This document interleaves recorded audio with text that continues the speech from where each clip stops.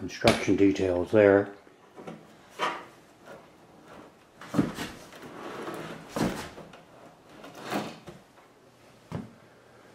So you can see the dovetails right there and right there.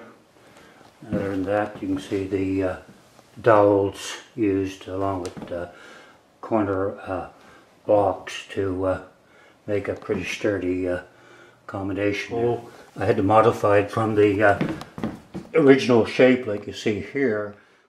So I heated up with a propane torch. Under the cabinet or in the cabinet, uh, you can see there's a couple of uh, supporting uh, vertical members there for the uh, makes for a, a great secret uh, hiding place for Christmas presents, things like that. So lots of potential for the uh, unused space.